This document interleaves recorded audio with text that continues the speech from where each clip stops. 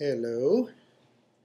It is us, Matt, Owen, and Kai, here on a Saturday morning, the 19th of December. We're in Sag Harbor. Got out here yesterday in the afternoon, and um, and um, we're just hanging, waiting for the big snowstorm. We're expecting a big snowstorm, but you never know but they're saying 6 to 12 inches. Um, what are you looking at, Owen? Looking at the doggies, I think. Um, so we'll see. Maybe we'll get snowed in. It'll be their first snow, so that's going to be exciting. And I'd rather we be out here for it. So we can take a, I don't know. It'll just, it seems more snowy. More of a snowy place. Um, so, um, so that's it. We're going to go for lunch today. I'm going to work out. Um, I'm feeling a little bit better finally. Um, what, what? You look distressed. Um, Owen has been having some rolling over issues that are very distressing to him.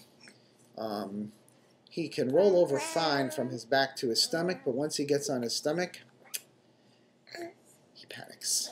And, and, um, and so we've been trying to practice during the day, but it's not really working. So at night now, when I put him down, all of a sudden, where are you going? Um, he rolls right onto his stomach and starts screaming. So last night, um, I waited, I waited, I waited, I waited a half hour, seeing if he could work it out, and then, I don't know, I, I gave in, and I quickly went in there and rolled him over. In five seconds, he rolled himself back onto his stomach and so I thought, well, buddy, you're going to have to figure this out for yourself. I can't be doing this all night. And after an hour and 15 minutes, he did. so, um, oh my God, everybody's making noise. So, um, so he's he's learning. He can again, he can get onto his stomach, but once he's on his stomach, that's where he stays. Um, and Kai has no interest in rolling over. Maybe it's because of her um, giant head or or lovely lovely round figure. Um, but she's happy just flat on her back with her arms up.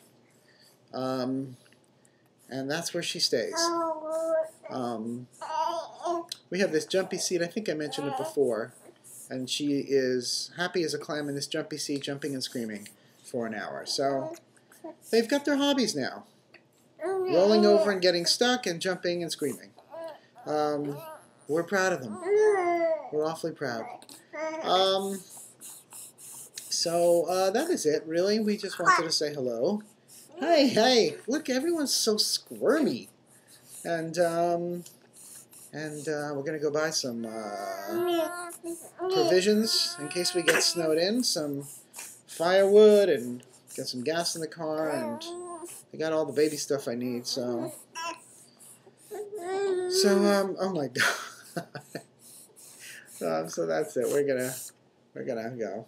I hope everyone has a nice weekend, and uh, we'll report back from Stormwatch 2009. Goodbye. Wish us luck.